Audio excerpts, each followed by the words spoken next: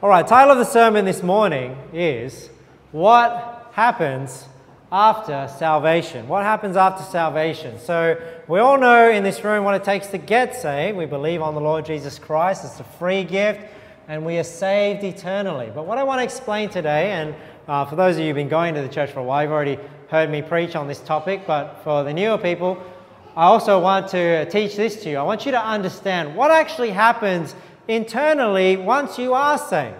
So then you understand why is it you still sin? Why there's this struggle that uh, Paul is talking about in Romans 7.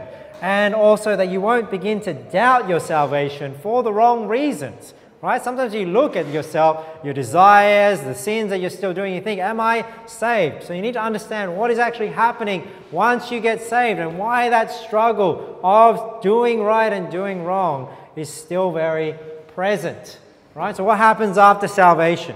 Now, where I want to start is in 1 Thessalonians 5 and show you that we are a three part being. It says here in verse 23 And the very God of peace sanctify you wholly.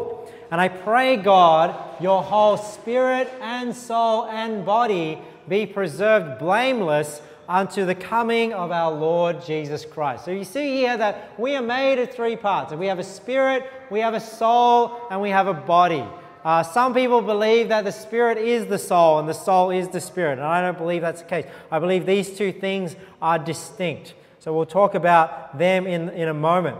So if you see here, I've just drawn a diagram and I'll refer to this diagram throughout the sermon. So you see the green refers to us as we live on the earth and we are a body, a soul, and a spirit. And I'll talk about those as we go on.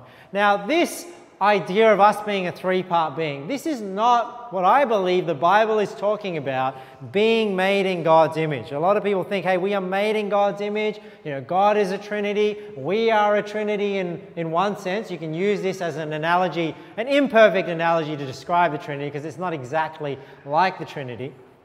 But some people think that's what the Bible is referring to when it talks about being made in God's image. Now, I'm not denying the fact that, you know, we have similarities with God's nature, where God is a three in one being, and we, in one sense, are a three in one being as well. We've got a body, soul, and a spirit, and we are one person. But when the Bible talks about being created in, in God's image, what I believe it's talking about is actually man looking like a man but woman is not created in God's image because she does not look like a man.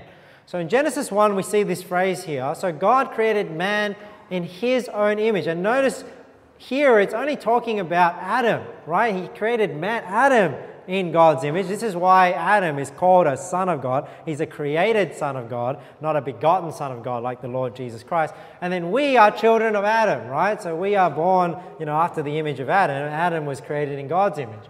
But notice here, it says here, so God created man in his own image. In the image of God created he him. Now, this is not a coincidence that that is him there. Male and female created he them. Now, I came across this, this, I, this, uh, this thing here because there's this, uh, I don't know what it's called, but there's this cult out there and it's, these Koreans will come knocking on your door and they show you this, this, uh, uh this video. And basically, the, the, the, whole idea, you know, like a lot of different denominations have like their pet doctrine, like Seventh day Adventist is like Sabbath keeping. Anyway, this Korean uh, religion, I don't know what it is, it started by somebody, but their pet thing was that God was a woman as well, was Mother God and, and things like that. And they would go to this verse to say that, you know, God created man and male and female in his image because in the NIV, this verse actually says, In the image of God created he them, male and female created he them. But you can see here in the King James, it's very clear, in the image of God created he him. Because why? Because man was made after God's image, but the woman was created from the rib of the man. Now, so this is this phrase is not talking about the fact that we are three-part being. This phrase is not, this is not even a topic of the worth of a man and a woman, right? So we don't get our worth just because, we, you know, man is created in God's image. We have, we have our worth because we are creatures of God. We are human beings, right? But man is created in God's image. Woman is not. If you see here in 1 Corinthians 11, it's probably, you know, I'm sure the men are grateful that women are not created in man's image, right? I think we like the way women look, that they look different, you know. 1 Corinthians 11, look at what it says here. For a man indeed ought not to cover his head. So this is talking about uh, the hair, long hair of a woman. For as much as he is the image and glory of God. But, so you see here's a difference, but the woman is the glory of the man. So why am I talking about this? I just just touching on this briefly that when the Bible talks about being made in God's image, it is talking about how a man looks. But when we talk about our nature, yes, there are similarities in our nature with God's nature, even though they're not exactly the same. But we are a three part being body, soul, and spirit. Now, I've drawn it this way because the spirit seems to be the, the life that gives life to the soul and to the body. So you can see here the spirit, really, if the spirit is dead, one day the body will die. When the soul leaves the body, why does the body die? Because it no longer has the spirit. And the soul is either alive or not, whether based on whether the spirit is alive or not. But in this, in this, uh, in this diagram, the spirit and the soul are very closely intertwined. Like I said, I think some people mistakenly think they are the same, but they are not. But what is the difference? What is the difference between the body and the soul and the spirit? Well, if you think of the body, the body is our flesh. Right? The body is what we inherited from Adam, you know, the sinful nature. We, we obviously live in the physical world, but our body is our flesh. The body is the reason why we, we sin, right? Because of the sin nature that we inherited from Adam. Now, the body is how, you think about it, how we interact with the physical world, right? So, how do we interface with the physical world? Well, we have a body that allows us to interact with the physical world. Now, what is the soul? The soul is who you are right? That's your personality, that's you, right? You live inside your body, that's who you are. Now, this does not change when you get saved, the soul. Right? And this is why you can see a difference here.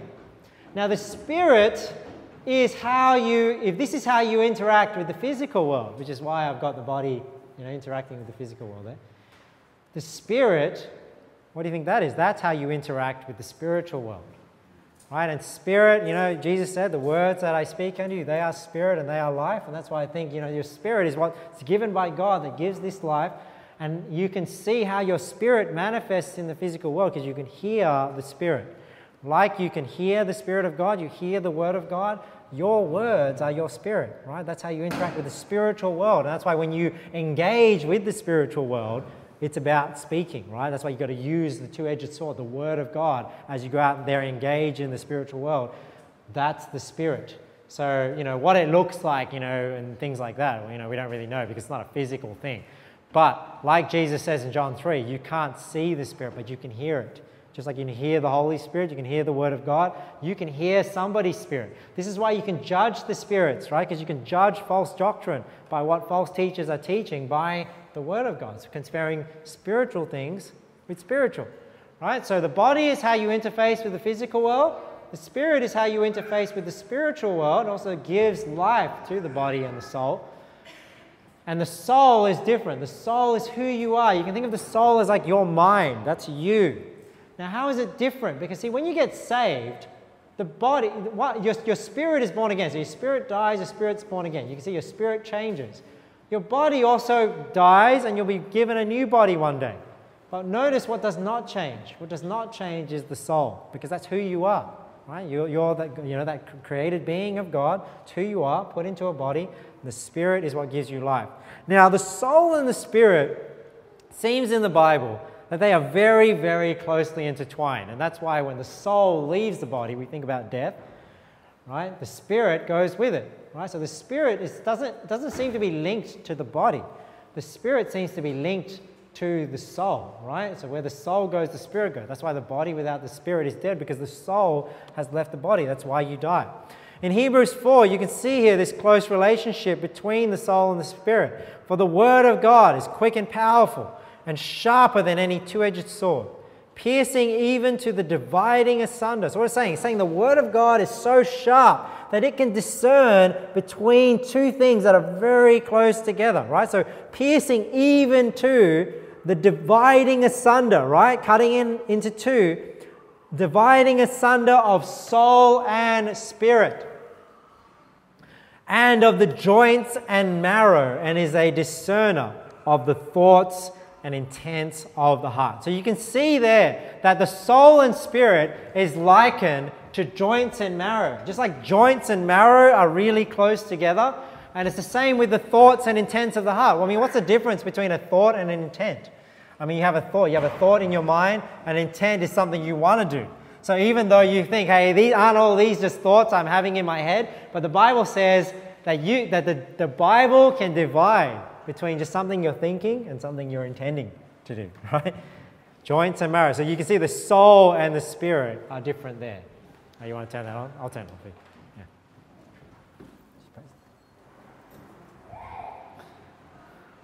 I think that one at the back is still on. So you can see that there's this close relationship between the soul and the spirit. So, what happens? What are the stages of spiritual life that somebody goes through from beginning to end? Well, this is what we're going to talk about in this sermon, and then we're going to apply this and show you, you know, with this understanding, why it is that we have this internal struggle. So, the first step that we go through is spiritual creation spiritual creation. So we are born, and this, you may not know this because some people uh, understand original sin incorrectly, but we are born spiritually alive. We are born spiritually alive. So you think when we come into this world, we inherit this body. So I've just made it pink, you know, so this is the flesh that we live in. And then God creates the soul and gives the soul a spirit, life, and we are born spiritually alive, right? But then this body that we get from Adam, this is the sin nature that we inherit. In Psalm 51, the Bible says here, Behold, I was shapen in iniquity, and in sin did my mother conceive me. So this verse is not saying that his mother committed fornication or adultery, and that's how David was conceived, because he was, then he would be a, a bastard child, right, rather than a son. But it says here, Behold, I was shapen in iniquity, and in sin did my mother conceive me. What is he referring to? He's referring to this sinful flesh, this sinful nature that we get from Adam. So when it comes to original sin, we inherit Adam's sin nature, right? We do not inherit Adam's guilt. Right? So some people misunderstand this. They think, well, original sin means you inherit Adam's guilt, therefore you're born into the world as a, you know, as, as obviously you're born as a sinner with a sin nature, but you are no longer yet guilty of the sin that you have committed. Ephesians 2, look at this. We look at the sin nature here. Among whom also we all had our conversation in times past, and the lusts of our flesh, fulfilling the desires of the flesh and of the mind, and were by nature the children of wrath, even as others. So you see, we have this sin nature. So we have a tendency to sin, right? But we are born into the world spiritually alive. Why? Because we are not yet held accountable for that sin until a certain point in time in our life. And we'll talk about that later. Now, we do not inherit the guilt of Adam. Right? Deuteronomy 24 16. Look, the fathers shall not be put to death for the children, neither shall the children be put to death for the fathers, every man shall be put to death for his own sin. So, this is talking about the judgment, like if somebody was to stand before a judge or to stand before God. This is not talking about necessarily the wrath coming upon a nation right? Because when the wrath comes upon a nation, sometimes the consequences of somebody's sin can have effects on the family and on the nation. But we're saying that when somebody commits a sin and they stand before a judge, that person is going to be guilty. Their children are not going to be guilty of the sin of the fathers, even though the consequences of that sin can affect generations unto the third and fourth generation, like God said. So we see here that we would not inherit Adam's guilt and go to hell for Adam's guilt, right? We go to hell for our own sins. Now, this is why, because we are born spiritually alive, this is why when babies or people who are, like, say, mentally disabled, this is why they go to heaven when they die, right? Because God has not held them accountable for the sin that they have committed, and they are still spiritually alive because of the mental incapacity to do so. Look at Samuel 12. This is a verse that uh, most people will turn to. to know that when a baby dies, that baby is in heaven. 2 Samuel 12. Then said his servants unto him, What thing is this that thou hast done? Thou didst fast and weep for the child while it was alive, but when the child was dead, thou didst rise and eat bread. So, what's the situation here? This is after David has committed adultery with Bathsheba. He's tried to hide it by killing Uriah the Hittite to cover up his sin. Nathan comes to, uh, you know, to, to confront him, and basically he's found out, and his, one of his punishment, he's going to lose the child that Bathsheba gave birth to. So here he's praying, he's begging God to spare the life of the child, to not take this child from him. He's fasting and weeping, but once the child dies, he stops. And his servants don't understand. He says, what is, what is this thing? What thing is this that thou hast done? They say, Why are you doing this? When the child was alive, you fasted and wept for the child while it was alive. But when the child was dead, thou did rise and eat. It doesn't make sense. Wouldn't you be happier that the child was alive and yet when the child is dead, now you're just going about your life as normal? Look what he says here in verse 22. And he said, While the child was yet alive, I fasted and wept, for I said, Who can tell whether God will be gracious to me that the child may live? But now he is dead. Wherefore should I fast? He's saying, Now the child's dead. Why should I fast? Can I bring him back again? I shall go to him, but he shall not return to me. So you see, it's a very, you know, obviously there are miracles in the Bible where people have been brought back to life, but it's not a normal thing that people go from the, land, the world of the dead to the world of the living, right? But David is assured that his baby, he will see that baby in heaven, right? I shall go to him, but he shall not return to me. So we know that when babies die, you know, it's an unfortunate thing. But we know that they will be in heaven. We'll see them in heaven one day. Whether it's a miscarriage, whether it's an abortion. You know, abortion is still murder, but that murdered child we will see in heaven. And it's the same if uh, any child has been lost through some sort of tragedy. Um, parents can take solace in the fact that they will see that child again if they are of a very young age. So we see here, this is what it's like if somebody was, you know, alive and when the child dies, their soul and spirit will go to be in heaven, and we see here their dead body will be on the ground. So the soul and spirit tend to stay together because of that close relationship with it. And like I said, it's because the spirit seems to give the soul life, and the soul being in the body is what gives the, the body life because the spirit is there. This is why in James 2, the Bible says here, For as the body without the spirit is dead, so faith without works is dead also. So you see that when we die, why does it say body without the spirit is dead? Well, because the spirit also leaves when the soul leaves the body. So the body is an empty shell with just um, with nothing in it, right? With no life to give it life. So that's the first step. The first step is we are spiritually created. So we are born of Adam. God creates the soul and gives the soul life by giving us a spirit, and then the soul and the spirit being in the body is what gives the body life. Whereas the body without the spirit is dead, so faith without works is dead also. Now, now we go on to the spiritual death. Now, I alluded to the fact that we are born spiritually alive. At what point do we spiritually die? Now, this is why I went, I read Romans 7 this morning. And if you're following along and you saw it, um, but we'll go over that passage right now in verse 7. The Bible says here in Romans 7, verse 7, it says, What shall we say then? Is the law sin? God forbid. I had not known sin, but by the law. So you see, the knowledge of sin comes from the knowledge of the law. For I had not known lust, except the law had said, Thou shalt not covet. But sin, taking occasion by the commandment, wrought in me all manner of concupiscence.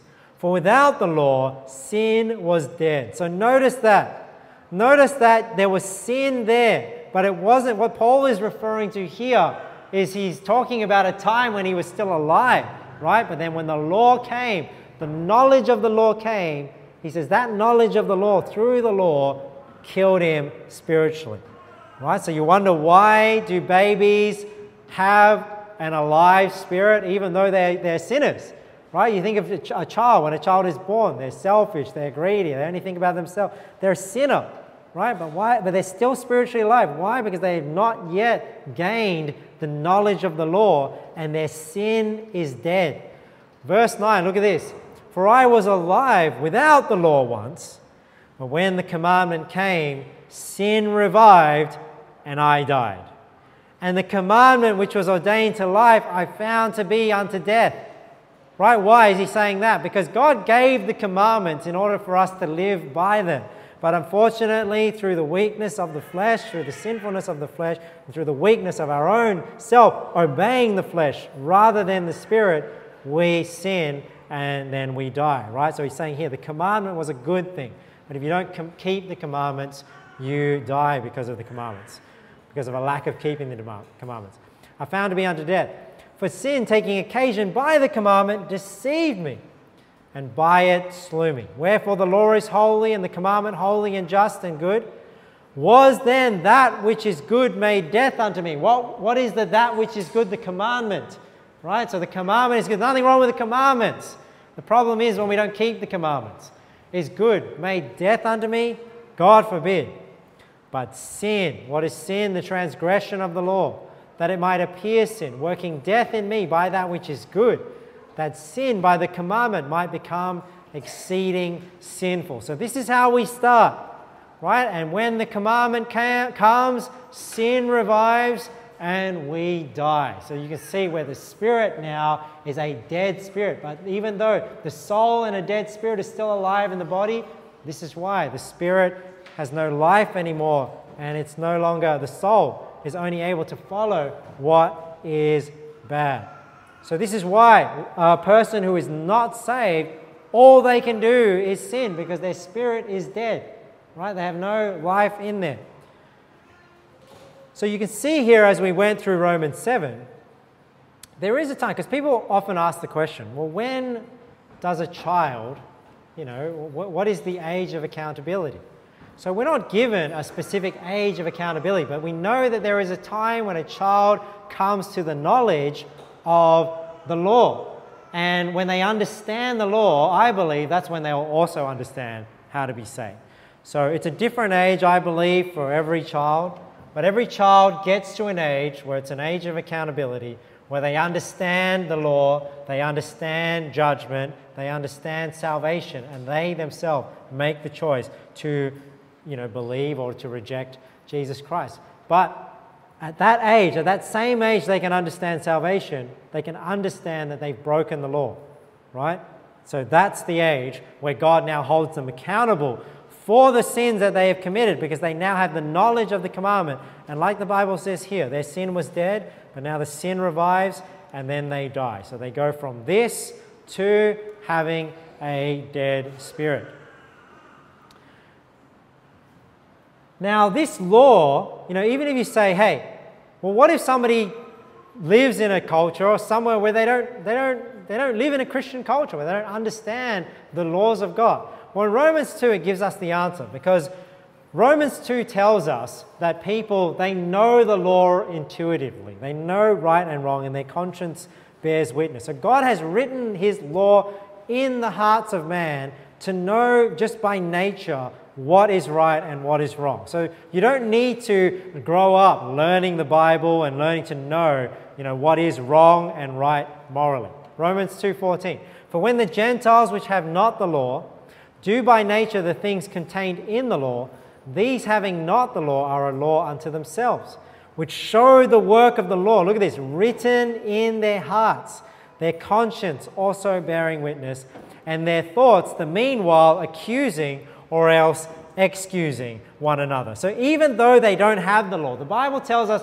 they have the work of the law written in their hearts, and because they intuitively know what is right and wrong, they are able to set up ways to accuse or, excel, or else excuse one another. And this is why, even in non Bible believing countries, they still have a system of right and wrong. False religions, you know, still have a system of right and wrong. Do unto others this, this common morality. And oftentimes when you go out and preach the gospel, people will try and say this to you to say, hey, all, all religions are pretty much the same thing. They all teach, you know, do unto others as you would have done unto you, right and wrong. Don't steal, don't lie, don't cheat, don't murder. Yes, because, and now you understand why. Why is there this common thread amongst false religions? Because you know, the, the, the, the, laws of God are written on our hearts and our conscience bears witness. But why? What is different when we go and preach the gospel? We're talking about how to be saved from that. How to be saved from that is a different method to other religions um, that are in the world. So, again, this is the unbeliever, right? Body, their soul with the dead spirit. And if they were to die now, right, their soul would separate from their body and it would immediately be in hell, like we read in Luke 16 with Lazarus and the rich man. Immediately he opened his eyes, and in hell, in hell he lifted up his eyes, being in torment. Right? So that's when the soul eventually dies and the, the spirit is dead with it, but the body is still dead on the earth. This is what would happen to somebody now if they were to die in an unsaved state. So we have the spiritual creation.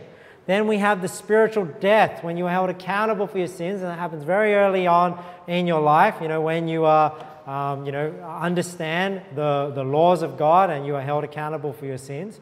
Now let's talk about the spiritual birth, right? So the spiritual birth is when we believe on Jesus Christ, our spirit is made alive again. The Bible talks about being quickened.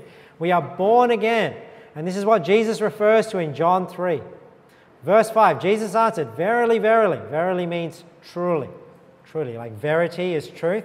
Verily, verily, I say unto thee, except a man be born of water and of the Spirit, he cannot enter into the kingdom of God. Like a lot of people use this verse to try and prove a, a baptismal regeneration. You know, when you're talking to somebody that believes that you have to be baptized to be saved, you know, whether it's a Pentecostal or whether it's a Catholic, oftentimes they'll go to John 3 and they'll say, hey, see, look, you have to be born of water, you have to be born of the Spirit. And they think, hey, being born of the Spirit, they think is the spiritual baptism, right? And they think being born of water is the water baptism, which is not. And Jesus clarifies this here in the next verse. He says here in verse 6 that which is born of the flesh is flesh, and that which is born of the Spirit is spirit. So, what does it mean to be born of water? It is the water birth. It's your physical birth. It's like we talk about when the woman's waters break. This is being born of water, and then being born of the Spirit is when your spirit is made alive again. This is why Jesus, when it talks about Jesus, this is He who came by water and blood. Right? This is not talking about Him being baptized and having His sins washed away. This is talking Him being physically born with flesh and blood. That which is born of the flesh is flesh that which is born of the Spirit is spirit. Marvel not that I said unto thee, You must be born again. Look at this in verse 8. The wind bloweth where it listeth. What, is, what does listeth mean? So where it wants or where it desires. So this word is related to lust, right? Where it listeth, where it desires. And thou hearest the sound thereof, but canst not tell whence it cometh and whither it goeth. So is everyone that is born of the Spirit. So this is where I learn about the Spirit. And it sort of made sense. This is Jesus saying, hey, you can hear the Spirit. You can hear the Spirit of God. You can hear the Spirit of somebody, but you can't see it. You can't see where it's coming and going, especially the Holy Spirit here in John 3. Obviously, you know where the Spirit of the man is, it's dwelling in his body. But the Spirit of God is all over the place. You don't know where it goes and where it comes, but you hear it. You hear the Word of God, and that's when you know the Spirit of God is present. Ephesians 2, look at this.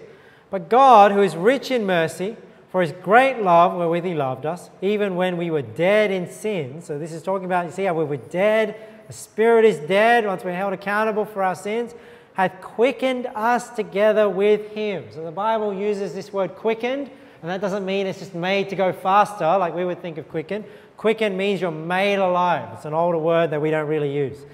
Us together with Christ. By grace you're saved and hath raised us up together and made us sit together in heavenly places in Christ Jesus, that in the ages to come he might show the exceeding riches of his grace and his kindness toward us through Christ Jesus. For by grace are you saved through faith, and that not of yourselves. It is the gift of God, not of works, lest any man should boast. So you see here, we are born spiritually alive. We're held accountable for our sins. We die. And then when we believe on the Lord Jesus Christ, we, our spirit is quickened. Our spirit is made alive. We are born again. This is the first fruits of the Spirit. And now we can be called a child of God, even though we still dwell in the sinful nature that we inherited from Adam. This is the new creature, right? This is the born again, born of God, right? The begotten child of God spiritually, right? So Jesus is the only begotten Son of God physically, right? Because where did we get this body? We got this body, we inherited it from Adam. But the spirit is born again, and this spirit does not sin. Now, if you understand this struggle that is going on and what's the mechanics of what is going on within your body as a saved believer, this is the state that we exist in now.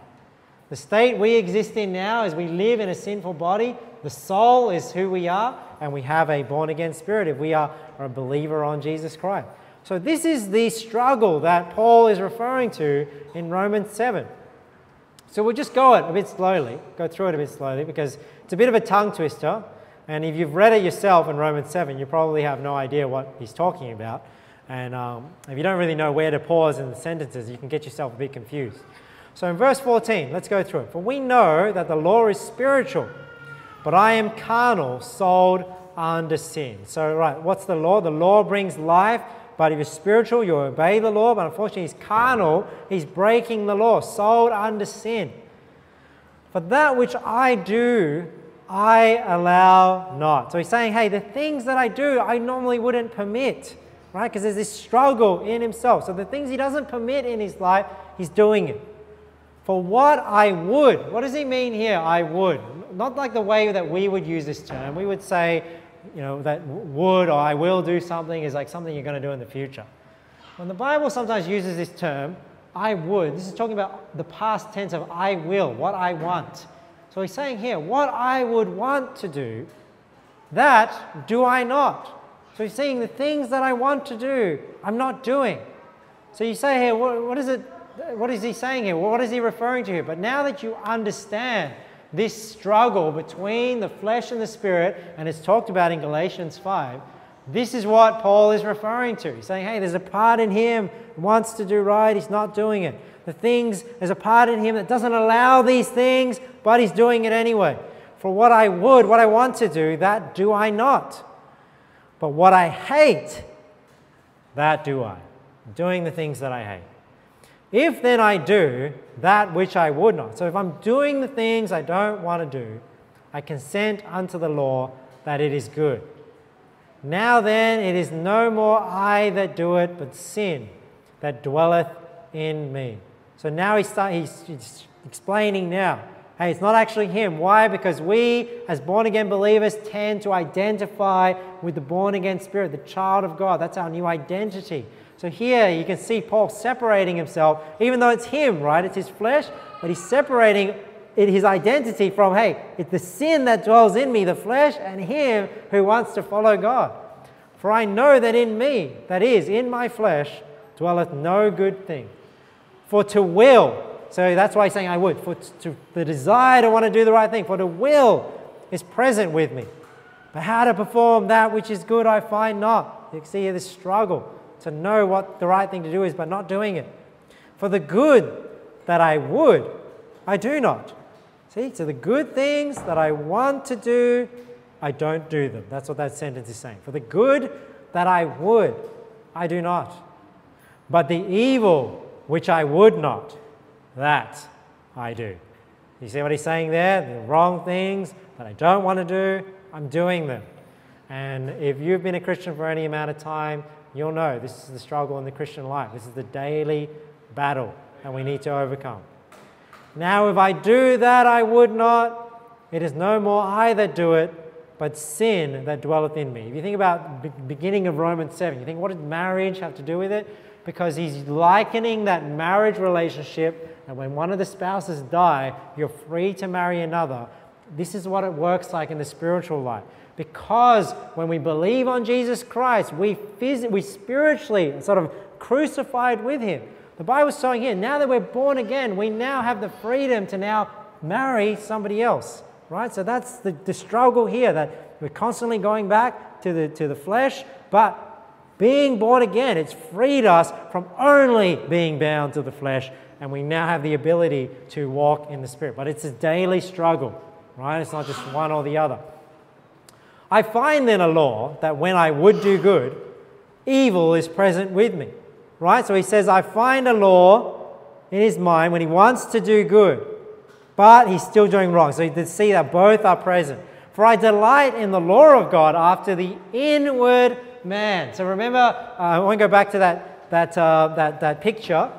That's why it's interesting that we talk about the inward man, the spirit that's in there. So he's delighting, that inward man, that new spirit, is delighting after God's commandments, wanting to do what's right.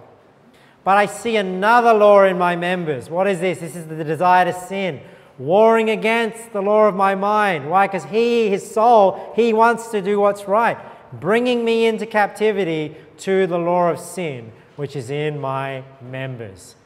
O wretched man that I am, who shall deliver me from the body of this death? I thank God through Jesus Christ our Lord. So then, with the mind, I myself serve the law of God, but with the flesh, the law of sin. So there you can see that dynamic in that passage that his mind, I believe his, your mind is the soul here. So if you think every day you know, as you struggle to do what's right, you're making a decision whether to do what's right or what's wrong. This is this battle that's going on. Are you going to follow the flesh, the law of the flesh, or are you going to follow the law, you know, the law of the Spirit that delights after the law of God? Now let's go to some passages where it refers to these two natures and that some people you know, misunderstand. So in 2 Corinthians 5, it says here, Therefore, if any man be in Christ, he is a new creature. All things are passed away. Behold, all things are become new. Now, why is this teaching important? To understand what happens once you get saved and how the different natures that you have, the body, soul, and spirit work in salvation. Because oftentimes, when people will go to a passage like this, they'll say, like, well, once you get saved, hey, you should be a new creature. You shouldn't be sinning anymore. You should be changing. And that's something that happens when you say, hey, maybe you haven't changed as much as you think you have or you should have. Maybe you're not really saved. So people make you doubt your salvation because you still sin. Now, if you understand this, you understand why you still sin because there's that struggle between the body and the spirit, and the soul has to constantly strive to follow the spirit rather than follow the flesh. Now, some people believe that this passage is saying, hey, well, once you're saved, it's just going to like change this whole thing. And if you're still sinning, then maybe the spirit isn't there. Because, you know, if the Spirit was there, you, you wouldn't be sinning. The Bible says, hey, you're a new creature. But look at what this verse actually says if we look at it closely. Therefore, if any man be in Christ, he is a new creature. I agree with you. Here's the new creature. Old things are passed away. Behold, look at this. All things are become new. Now, if you were to look at what actually happens, are all things new in this whole picture? No. Because when you got saved, did the body change? No. Still the same sinful body that you had prior to your salvation. That's why if you don't walk in the Spirit, if you don't purpose in your heart to do what's right, you will be the exact same person you were before. That's why people say, or you know, person's what not saved. Look, they're just living exactly how they were before. That doesn't necessarily mean they're not saved. That just means they're walking in the flesh. Because if they're walking completely in the flesh, you know what? You will be exactly how you were before. Right? You have to put on the new man. This is what this all things is talking about. This is not talking about the Christian as a whole. This is talking about this. Because the born again spirit, the child of God, all things are new there. That thing cannot sin.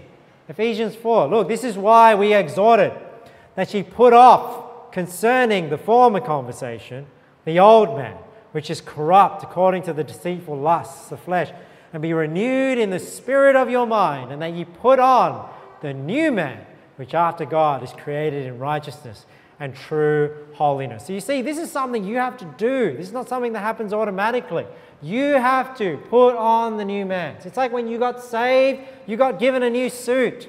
But you have to put that suit on for people to see it, for it to benefit anybody else, right? It doesn't just happen automatically. And this is why here in Ephesians, Paul is exhorting the Ephesians, hey, to take off the old garment, right? Because by default, that's the one you're going to be wearing every day if you don't do anything about it.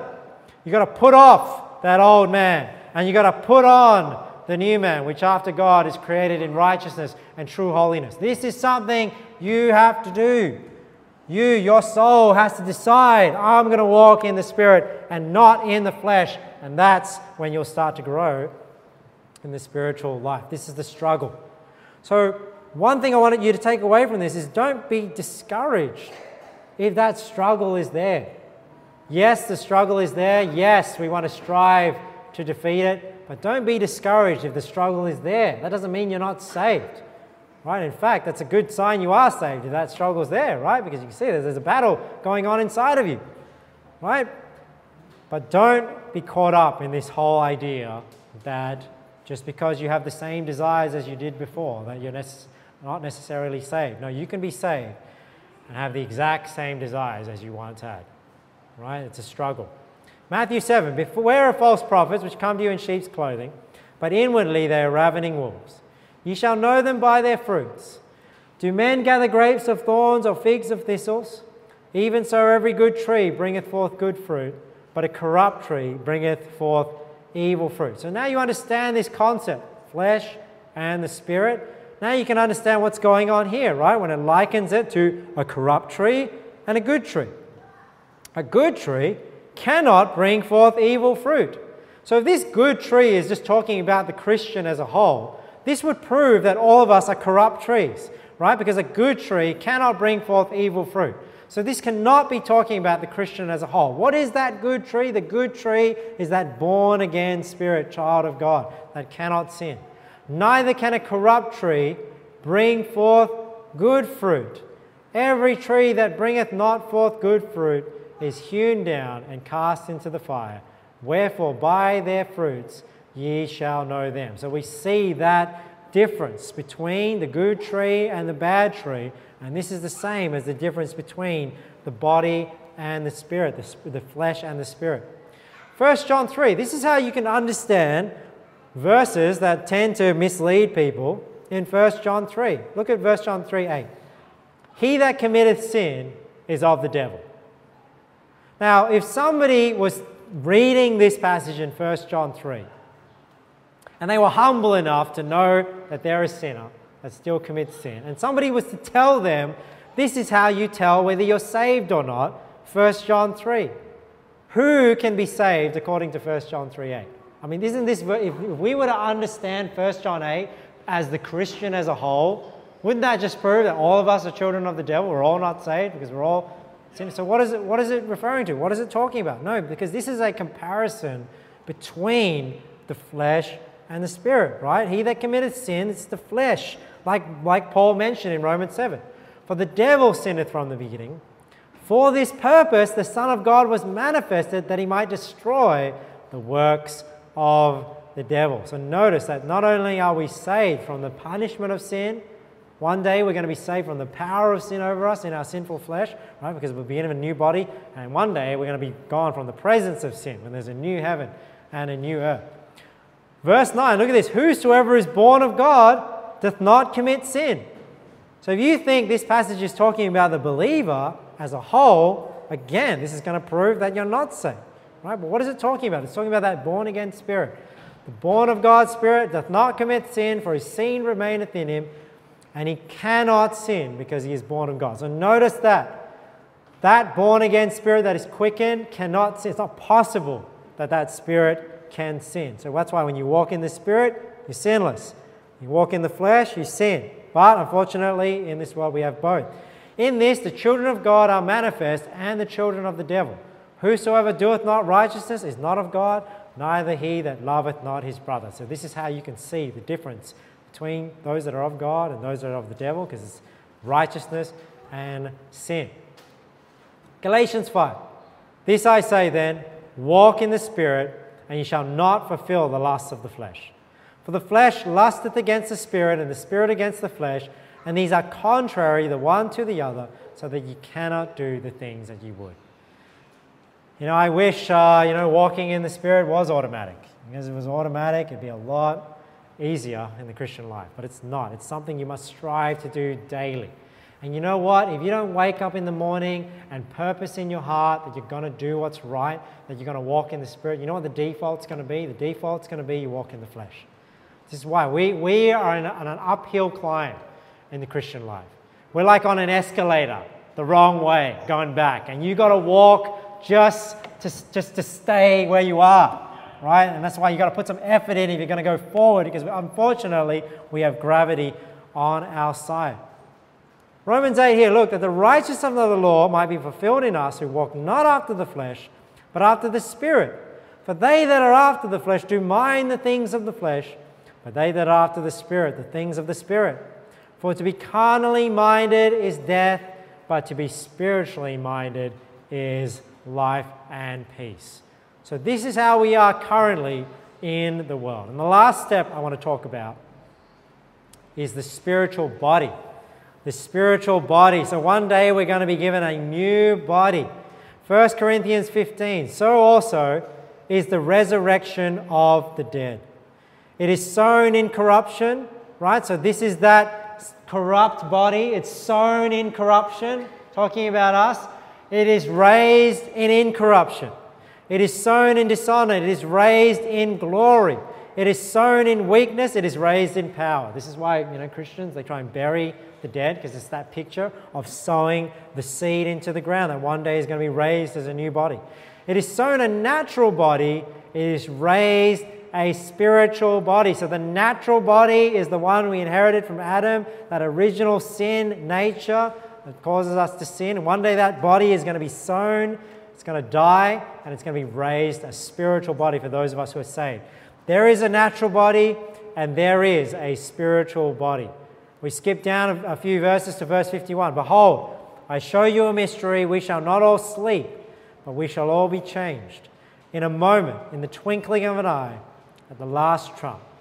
For the trumpets shall sound, and the dead shall be raised incorruptible, and we shall be changed. For this corruptible must put on incorruption, and this mortal must put on immortality. So you see there, one day, the resurrection, we're going to be given a new body. We're going to be given this spiritual body, right? This new body that is sinless. Romans 8, for the earnest expectation of the creature waiteth for the manifestation of the sons of God. See, right now, you can't see the sons of God. Right? It's a spiritual kingdom right now. We're spiritually sons of God. But what, what are you seeing here? You're not seeing the Son of God here, right? You're seeing a son of the devil, right? A sinner here, the flesh. But you see here the earnest expectation of the creature. What I am waiting for as a creature, I'm waiting for the manifestation of the sons of God. What is it? It's when we get our physical bodies. And now you'll see us not only spiritually but physically as sons of God. For the creature was made subject to vanity. What's this? We live in this vain, sinful world. Not willingly, but by reason of him who have subjected the same in hope. Because the creature itself also shall be delivered from the bondage of corruption into the glorious liberty of the children of God. So, talking about us as a person, we're going to be delivered from this sinful world into uh, the glorious liberty of the children of God. For we know that the whole creation, groaneth and travaileth in pain together until now. I mean, we talked about suffering in Kids Club this morning. There's a lot of suffering in this world, a lot of groaning and travailing, right? For we know that the whole creation groaneth and travaileth in pain together until now. And not only they, but ourselves also, which have the first fruits of the Spirit, so that, that born again spirit within us, even we ourselves groan within ourselves, waiting for the adoption to wit, the redemption of our body. So you notice there that we are children of Adam. We are born of God spiritually. We are begotten of God spiritually. But when we are given our new bodies, this is a creation of God. It's the spiritual body that clothes us in the new, uh, as we rule and reign with Jesus Christ. We are then adopted as children of God. So physically, we are sons of God, adopted but spiritually we are begotten sons. And Jesus Christ is the only begotten Son because he's the only one physically born of the Holy Ghost. Philippians 3, we'll see this uh, last, uh, another passage here, where our body will be changed. For our conversation is in heaven, from whence also we look for the Saviour, the Lord Jesus Christ, who shall change our vile body, that it may be fashioned like unto his glorious body, according to the working whereby he is able even to subdue all things unto himself. So let's have a look. So these are the steps that a believer goes through, just to recap. So, this is how we're born. We're born spiritually alive in the earth, and we've inherited the sinful nature from Adam. When we are held accountable for our sins, we die. We believe on the Lord Jesus Christ, our spirit is born again. Now, if we were to die now, our soul and spirit will separate from our body and we will be alive in heaven. Why? To be absent from the body is to be present with the Lord. So our body there is dead on the earth. Now, at the resurrection, we will be given a new body and we'll have a new body, soul, and spirit. And this is why the Bible talks about salvation in terms of steps. It's not saying that it requires more than just faith to commence this process, right? Because once we believe on Jesus Christ, we believe the first fruits of the Spirit and we're sealed unto the day of redemption. But in Romans 13, it can use phrases like this. It says, and that, knowing the time, that now it is high time to awake out of sleep. This is talking about us going through life, going through life awake to what's going on in the world.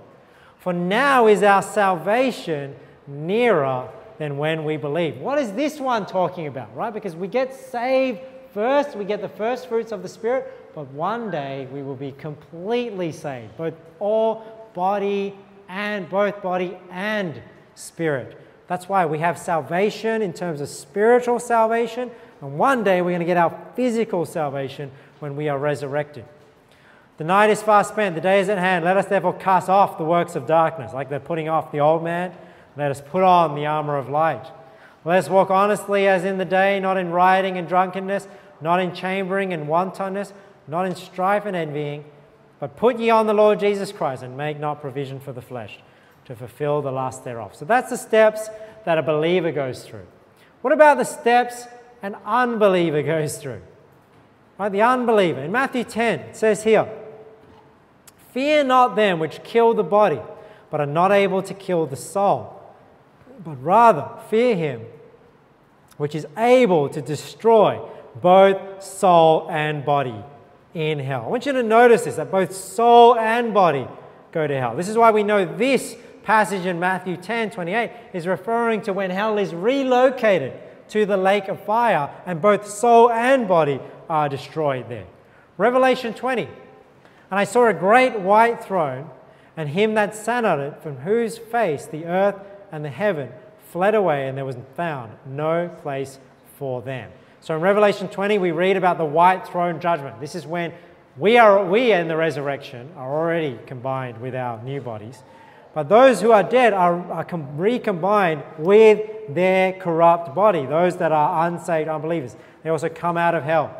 And I saw the dead, small and great, stand before God, and the books were open, and another book was open, which is the book of life.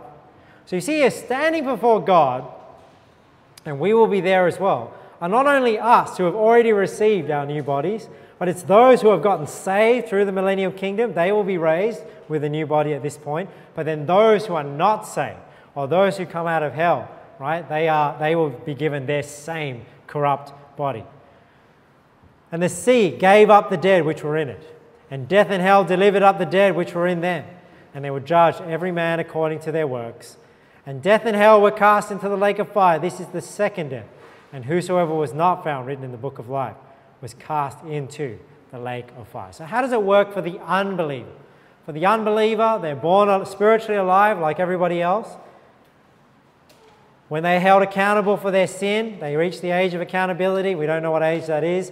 They die spiritually. This is why the Bible can say in Genesis, in Genesis, when God talks to Adam, in the day that thou eat thereof, thou shalt surely die. Because when Adam ate of the knowledge of the tree of good and evil. Notice that, the knowledge of the tree of the good and evil, he died immediately. It's the same with the age of accountability. When they have the knowledge of good and evil, they die to the sin that they have. The difference is that was Adam's first sin. But with babies, you know, they're already sinning. They're held accountable for that um, when they reach the age of accountability. Now, when the unbeliever dies, Their soul separates from their body. The body without the spirit is dead. They immediately descend into hell, like the rich man in Luke 16. And in hell, he lift up his eyes, being in torment. Right? And, be, and why does the soul go to hell? Because the spirit is dead. If the spirit is alive, it goes to heaven. Now, at the white throne judgment, the white throne judgment, everybody is resurrected. Now, either you're resurrected to life or you're resurrected to damnation. The unbeliever is then reunited with their corrupt body before God, and their spirit is still dead. So there is a moment of reprieve here from hell. Because notice here that if an unbeliever was to die now, they would be in hell in the center of the earth. Right? And one day hell is going to be relocated. So if they were to die now, before the millennial reign, when they come out at the white throne judgment, they have been tormented in hell for a minimum of a thousand years. Right? White throne judgment, there is a moment of reprieve. And this is why you wonder why will every knee bow, every tongue confess that Jesus Christ is Lord to the glory of God the Father? Because even the most hardened atheist, the most hardened Muslim, the most hardened, you know, work salvation Roman Catholic, they on that day will also be begging, acknowledging Jesus Christ as Lord, begging to be saved. But it's too late for them because they will just be brought out to be judged according to their works. And the Bible says, you know, whosoever was not found written in the book of life was cast into the lake of fire. So now, body, soul, and spirit, like it said in Matthew 10, fear not him that is able to kill the body, but rather fear him that is able to kill both soul and body in hell. So, this is why we know it's talking about the final judgment when they're cast into hell. Because when you go to hell now, as an unbeliever, your body does not go to hell. Your body is dead on there. We bury the body. You know, and people, unfortunately, that they've deluded themselves or they've deceived themselves into believing something else, or somebody that dies that's not saved, you know, they say, oh, they've gone on to go to a better place. But unfortunately, if they're not saved, if they haven't believed on Jesus Christ, they haven't gone on to a better place. It's a sad thing when somebody dies without Jesus Christ because their soul is in hell and it's uh, too late for them now. And one day they'll be resurrected, the white throne judgment, and both soul and body will be cast into hell. So, what do I want us to take away from this sermon today? I hope you learned today the different stages of spiritual life and how, it, how the mechanics works. And the Bible gives us enough information to understand the human nature. You know, this is why. Like people, people have different ways to describe the human nature. The world will say, "Oh, we're, we're good by nature," and it's all that sort of stuff. So if we understand the explanation that God gives us in the Bible, we understand what is going on and we can, we can judge why we have this struggle and why this is going on. We can understand why people that are saved don't necessarily live the way they ought. Because we don't want to be duped into believing a works-based salvation, a works-based salvation, when we start saying things like, well, if that person was really saved, they wouldn't live how they used to live. You know, that person's living just how they used to live, you know, before they were saved, you know, maybe they're not saved. That is not how we should necessarily judge salvation if that person is confessing salvation by Jesus Christ. If they confess the right salvation, we can judge and say, look, I think maybe that person is saved. They understand salvation, but you know, they're just walking in the flesh. And all of us do this to an extent. You know, so don't get too so high-minded in your own life that you think, oh, you know, I'm doing so great. Hey, take heed lest you fall. Right? You just ought to be grateful that maybe you're at a stage where you're on the up and up. But you're going to have times in your life, you know, where you backslide and you are not living how you ought. And, you know, sometimes you, sometimes you need to go through those stages in life because that gives you a bit of empathy with people that are not living right.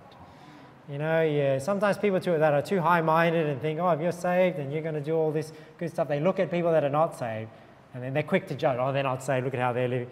Until one day you're like that person. You know, you're out of church, you're backslidden, you're you know, not caring about things, you're, you're back into the old sins. And then you realize, man, this struggle's real. Like, you know, maybe that person that I thought wasn't saved because of the way they live, they could be saved. So, I understand why people that are saved don't necessarily live right. You don't want to necessarily doubt your salvation because you fall back into the, these old sins.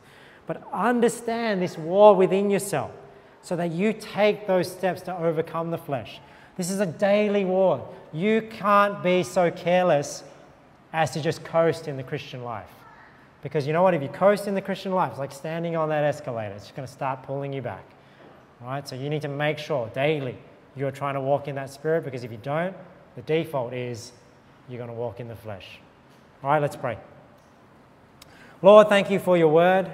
Uh, thank you, Lord, for the reminder this morning of this daily struggle that we all experience. Lord, help us to overcome the flesh daily. Help us, help us in our mind, Lord, to want to walk in the Spirit, to obey the law of God rather than the law of sin. And uh, Lord, we need your grace. It's, it's difficult. We're fighting against gravity, Lord. So help us, help us to purpose in our heart to do what's right so, Lord, we just don't automatically go back into our old ways and do damage to your kingdom rather than good.